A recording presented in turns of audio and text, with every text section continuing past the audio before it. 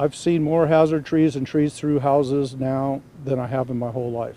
Those living in the Riverside Grove neighborhood on the CZU burn scar in Boulder Creek are bracing for another storm after intense winds last week wrecked at least four homes in the neighborhood. We watched it pick these trees up. We couldn't believe it. They were kind of going outward and and then it just just flung them into these homes. It was the most terrifying thing I've ever seen in my life.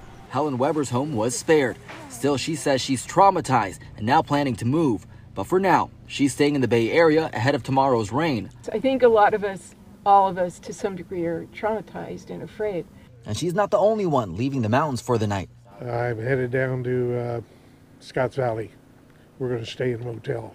Before he heads out, Garland Prater, like the rest of his neighbors, are busy fixing and cleaning up whatever mess they can, covering up any holes in the roof and rebuilding stairs. It's a small task compared to next door, where homes are still waiting to get massive trees removed. This one's more severe, yes. We have a few more down the road that are a little worse. Arborist Bobby Pilgreen says he's backed up with requests, and with where things stand, it's going to take about a month to get through all of it, assuming there aren't any more emergencies.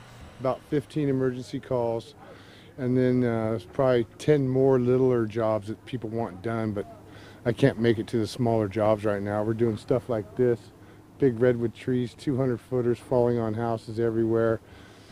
It's uh, pretty gnarly.